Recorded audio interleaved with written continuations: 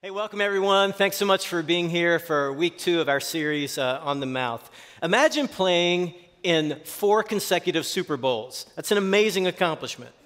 Imagine losing all four games. That was the painful reality endured by the Buffalo Bills and their fans in the early 1990s. My daughter married a guy from Buffalo who was not even alive when that happened, but it hurts him to talk about it as if he lived through it. After that fourth consecutive Super Bowl loss, Hall of Fame running back Thurman Thomas was seated on the Bills bench with his head in his hands. Why? Because it's tough to lose a Super Bowl, and because his three fumbles contributed to the loss to the Cowboys.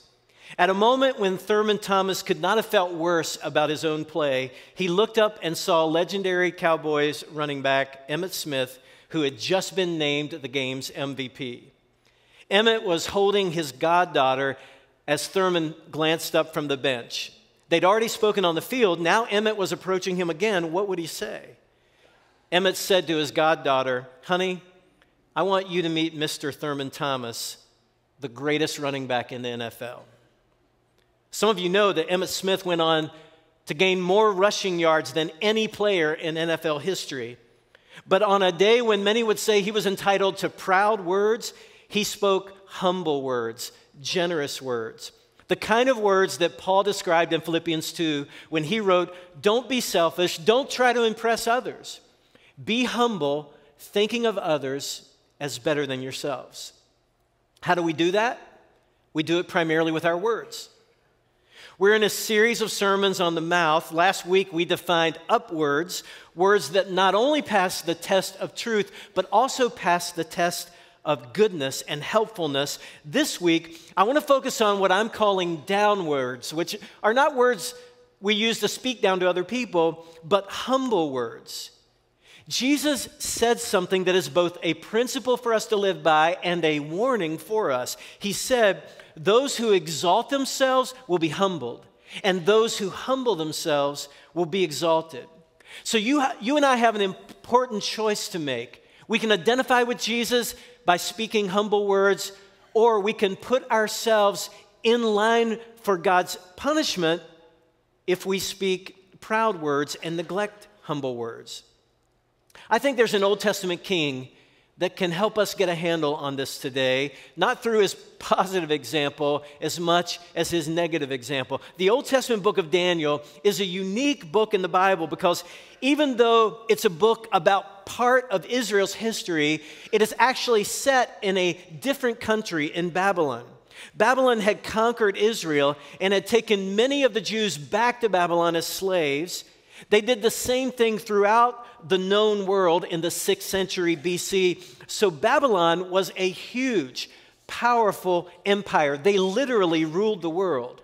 And all that power, all that dominance produced a, a lot of pride, especially for King Nebuchadnezzar, the king of Babylon. No one was more powerful, no one was richer than he was, no one's palace and surroundings could match the beauty of Nebuchadnezzar's hanging gardens, which are one of the seven wonders of the ancient world. But even though God allowed Nebuchadnezzar to conquer Israel in order to discipline them, God was not finished with Israel. He continued to bless those who were faithful to him, and they continued to worship him even while they were in exile in Babylon. But Nebuchadnezzar's pride eventually led him to desire a promotion. And when you're already the king of everything, you only have so many things you can do in order to have a promotion. So Nebuchadnezzar declared himself God. He built a massive statue in honor of himself, and he summoned leaders from throughout his empire, and he gave a simple command bow down to the statue that represents me or die. Now, for most of them, that was a pretty easy choice. Expediency won out, and they worshiped the statue. But for the Hebrews that were among the king's advisors, this was a huge problem. They all knew the Ten Commandments, the first of which was no other gods, the second of which was no idols, no images. And there was no fine print that read, except when your life is on the line. So they couldn't worship the statue, even though they did not want to disrespect Nebuchadnezzar. Now, time won't allow us to walk through the entire story today, but suffice it to say that the weasels among the king's advisors made sure the king knew that the Hebrews were not bowing down and worshiping the statue that represented him. And that made the king furious. How dare they? And in his pride and anger, the king had Shadrach, Meshach, and Abednego thrown into a blazing furnace. Fortunately, God stepped in and saved them. And when it was all over, King Nebuchadnezzar actually praised God and made it illegal to speak against the God of the Bible, which seems like progress. But apparently, the progress was temporary because in the next chapter, chapter 4 of Daniel, God warns Nebuchadnezzar to submit his spirit to God. In Daniel chapter 4, Nebuchadnezzar tells us about it in his own words, which makes this a fascinating and unique passage. I, Nebuchadnezzar, was living in my palace in comfort and prosperity. But one night I had a dream that frightened me. I saw visions that terrified me as I lay in my bed. So I issued an order calling in all the wise men of Babylon so they could tell me what my dream meant. Well, in his dream, Nebuchadnezzar saw a massive tree that was visible to the entire world. The tree was loaded with fruit, and many birds uh, made that tree home. There were wild animals that found shade and nourishment under the tree. But in the king's dream, an angel comes down from heaven and orders that the tree be cut down and its branches be cut off, leaving only the roots and a stump. And there was also a warning that someone would be given the mind of an animal for a period of time. When the king finished describing the dream, Daniel was there to interpret it for him, and he was so shaken by the content of the dream, he couldn't speak to the king. But the king urged Daniel not to be afraid to interpret the dream for him, so Daniel did it. The tree in the dream was, as you would guess, it was Nebuchadnezzar. He had become exceedingly great. His kingdom was seen and known by the entire world. Everyone on earth knew who King Nebuchadnezzar was. But because of his arrogance and his unwillingness to submit to God, God was taking away his kingdom and would drive him into the wilderness where he would live like an animal for a period of time. That was the really bad news. The good news was that it did not have to be final. In the middle of verse 25, Daniel explains. Seven periods of time will pass while you live this way. Some scholars think that means seven years. Some think it just means seven is kind of the biblical number for completion. So when this time is complete, when you've completely learned your lesson, until you learn that the Most High rules over the kingdoms of the world and gives them to anyone he chooses, but the stump and roots of the tree were left in the ground. And this means that you will receive your kingdom back again when you have learned that heaven rules. So God is bringing this judgment on King Nebuchadnezzar, but it doesn't have to be final. And God is giving him a choice. If Nebuchadnezzar repents of his pride, and he stops portraying himself as a God and demanding that people worship him, then God is willing to restore him. And that's why Daniel concludes his comments in verse 27 by saying, King Nebuchadnezzar, please accept my advice. Stop sinning and do what is right. Break from your wicked past and be merciful to the poor. Perhaps then you will continue to prosper. Now, some of you hear the part of these verses that talks about God's judgment against Nebuchadnezzar, and you think, yep, that's the God of the Old Testament, punishing wicked people, having no mercy. But I disagree. Because when I read this warning that God sent to King Nebuchadnezzar, I can't help but marvel at how much mercy there is, at how much grace God is extending to Nebuchadnezzar. Nebuchadnezzar, even though you've done horrible things, even though you have tried to take the place of God, and even though you've abused and even killed people, I will place you back in a role of authority if you will just acknowledge that I am the one who has given you this kingdom. He offers a second chance to this tyrant. That's a level of grace that's beyond imagination, and that's the God of the Old Testament. So, if you've ever heard the God of the Old Testament is all about judgment, God of the New Testament is all about grace. And it's hard for you to figure that out. That's just an oversimplification. It's a misrepresentation because God has always been about forgiveness and grace and second chances. But like so many people, Nebuchadnezzar hears God's offer and ignores it. Verse 28 of Daniel 4. But all these things did happen to King Nebuchadnezzar. Twelve months later, he was taking a walk on the flat roof of the royal palace in Babylon. As he looked out across the city, he said, Look at this great city of Babylon. By my own mighty power, I have built this beautiful city as my royal residence to display my majestic splendor. Nebuchadnezzar needed a mom like actor Denzel Washington's mother. After Denzel's career took off, he went home once and he was talking about all the good things happening for him as an actor, but he didn't offer any credit or thanks to the people who had helped him succeed. His mother did not like his attitude, and so she said, Oh, you did it all by yourself? I'll tell you what you can do by yourself. You can go outside with that mop and that bucket and you can clean these windows by yourself. You can do that by yourself, superstar. And he did. God reminded Nebuchadnezzar that he is the one who appoints rulers and grants them success. But what do Nebuchadnezzar's words reveal? That he thinks it's all him. His self sufficiency. You think Nebuchadnezzar ever lifted a hammer to build that magnificent city? Not once. And yet he couldn't acknowledge the people below him in authority who are responsible or the God above him in authority. Nebuchadnezzar is like someone who receives an Academy Award or an Oscar and stands up and says, I'd like to thank myself. Thank me very much. That's Nebuchadnezzar. President Teddy Roosevelt never wanted to be like that. He loved the outdoors, so it's no surprise that when he hosted world leaders and diplomats at the White House, he would often close the evening by inviting them to walk outside with him. And after a moment of casual conversation, Roosevelt would become very quiet and he would just begin looking up at the stars. After an awkward few moments, and it is awkward when suddenly there's no conversation, his guests would begin to join him and they would lift their eyes and they would begin to gaze at the stars. And Roosevelt would allow that to happen for several minutes.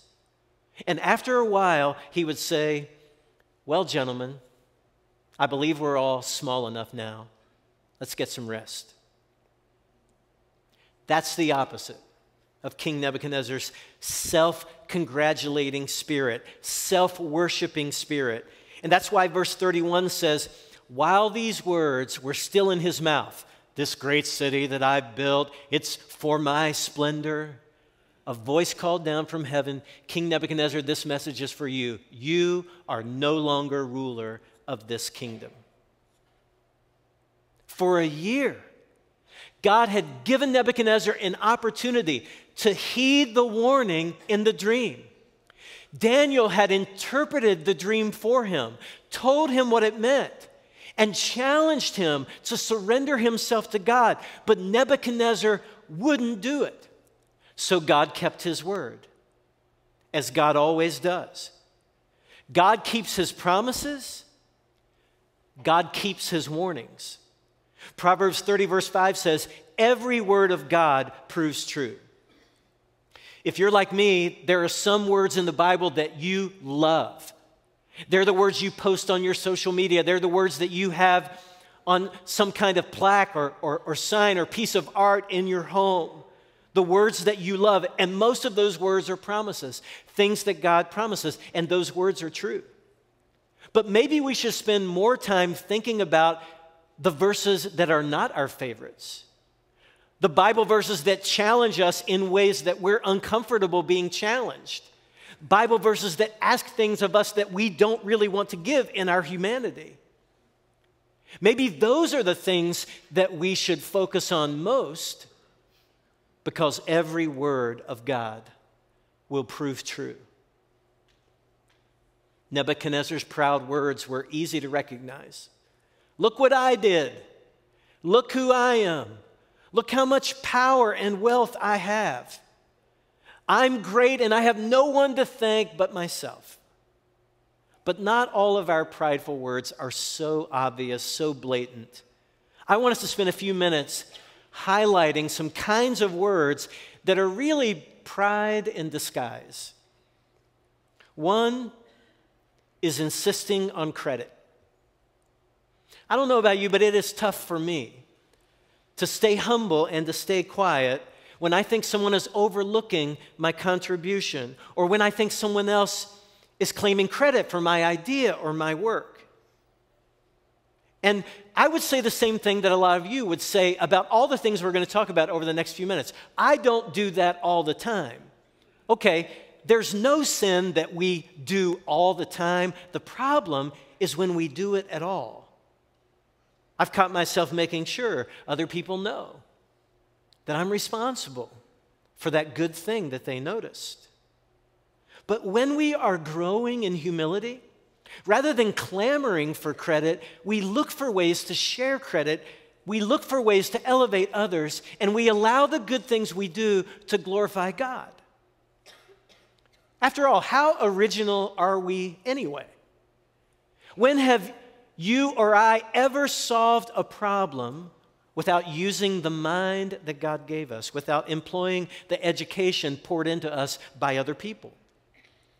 When have we ever earned a dollar outside of the opportunity that God has given us to work within a functional, growing economy? Aren't there a lot of people in the world who work as hard, maybe even harder than many of us, who can barely survive because they do not have the blessing of an economic environment that rewards them?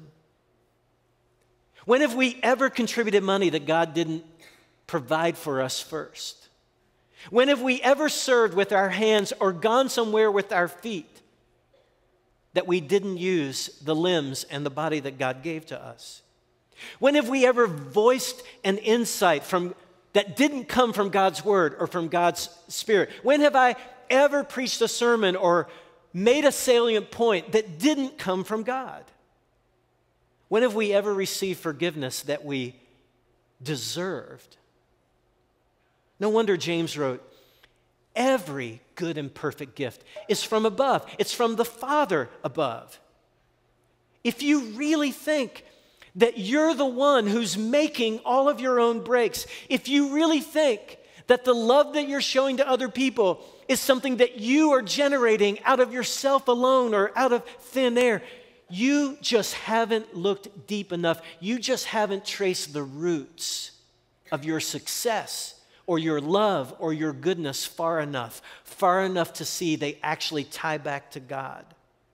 You and I haven't acquired anything good we haven't done anything good. We haven't said anything good that didn't begin with God somehow. If there is a glimmer of good in you or a glimmer of good in me, He is the source of it. And that is why it is not wrong. And that is why it is only right for us to give Him glory. And the fact that we have to remind ourselves of this is just more evidence of how true it is. Another form of pride can be our religious lingo. Now, this is a tough one because there are some legitimate spiritual words that ought to be spoken. And those words convey our love for God or our devotion to God. The Bible actually encourages us to speak words like that. But it also warns us against speaking those words for some kind of dark or selfish motive. All those words come with a temptation because it is possible to employ spiritual sounding words to say spiritual things in a way that is designed to elevate us rather than God. Saying to someone, I'll pray for you, when most of the time after saying it, you don't pause and intentionally pray for that person is really a way of pretending to have a spiritual practice or spiritual credentials that we don't really have. The Apostle Paul said that he and his co workers for Christ made a pledge to never use spiritual words deceptively or in self serving ways. That's an impossible commitment to keep 100% of the time, but it is an important commitment for us to make an attempt to keep. Another kind of proud speech is self justification. You ever do that? Done that yet today? When a religious scholar asked Jesus, What do I need to be saved by God? Jesus pointed him back to the Old Testament law. The man was a Jewish scholar after all. He knew the law of God forward and backward. Why did he need Jesus to answer a question that is plainly answered in the scriptures that he'd studied all of his life? So Jesus turned the question back to him, and the man answered his own question correctly. He said, The law requires that I love God and I love the people God created. And Jesus affirmed, Your answer is right. Now comes the tough part do it. Luke 10 29 offers some insight into the words the man spoke to Jesus next. It says, He wanted to justify himself. So he asked Jesus, And just who is my neighbor? A seemingly innocent question, but Jesus knew the heart condition behind that question. The man wanted to narrow the definition of neighbor so that his obligation to love other people would be diminished. Justifying ourselves is a way of refusing to acknowledge our sin or the consequences of our sin. It's hoping that we'll be acquitted on a technicality rather than aspiring to fully obey God's commands and principles. We justify ourselves by citing extenuating circumstances. And sometimes there are other circumstances, but sometimes the circumstances we cite are simply an excuse. Or we highlight someone else's wrongdoing because we want to draw attention, attention away from our own wrongdoing. We compare our sin to someone else's because we want to escape God's high expectations of us. Pride also reveals itself in the harsh judgment of others. If you're someone who knows what is right and is a little proud that you know what is right, this is a temptation for you.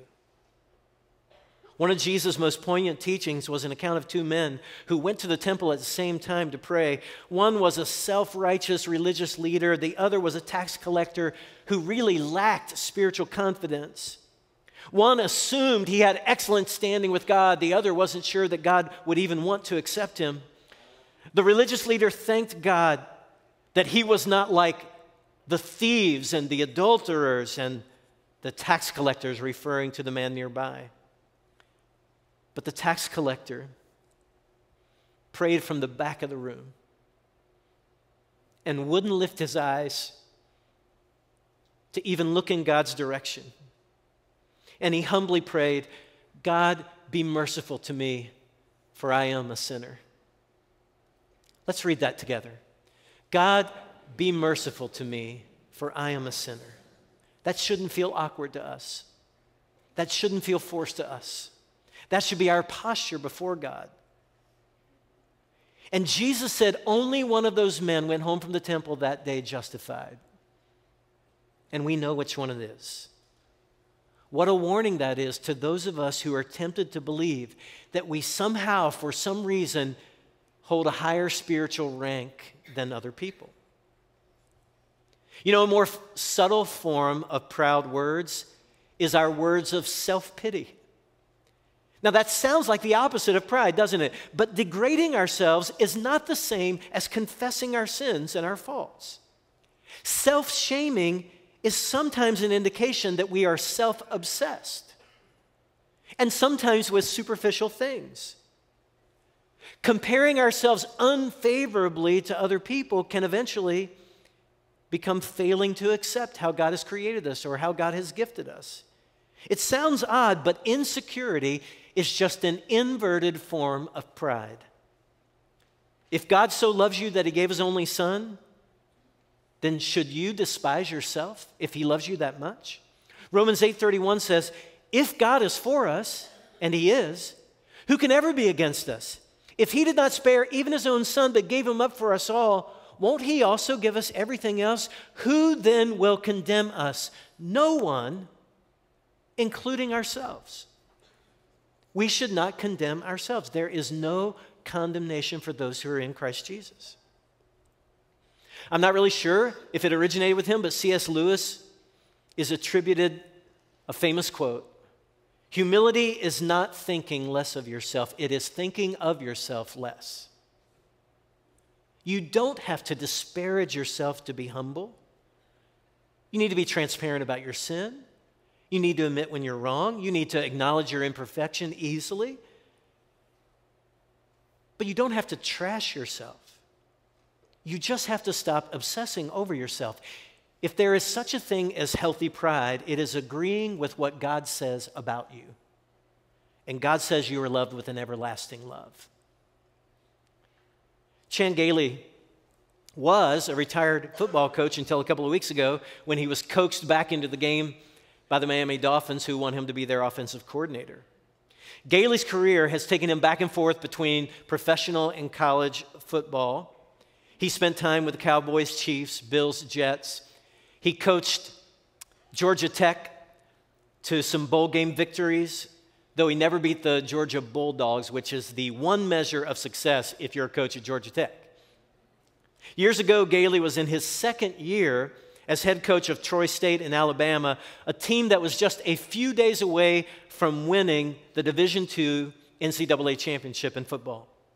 As he walked out of his office toward the practice field, his assistant said, Coach, you have a phone call. And without even making eye contact, he asked her to take a message. But she replied, Coach, it's Sports Illustrated. Gailey stopped in his tracks, turned around, walked toward his office, closed the door, and took a deep breath so that he would sound composed when he answered the phone. When he picked up the phone and said hello, the person on the other end of the call said, Is this Chan Gailey? This is Coach Gailey, he said. And the voice replied, Sir, your Sports Illustrated subscription is about to lapse.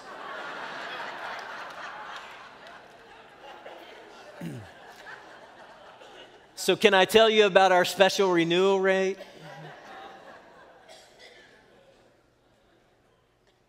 Life is exactly as Jesus said. This is why Jesus told us those who exalt themselves will be humbled.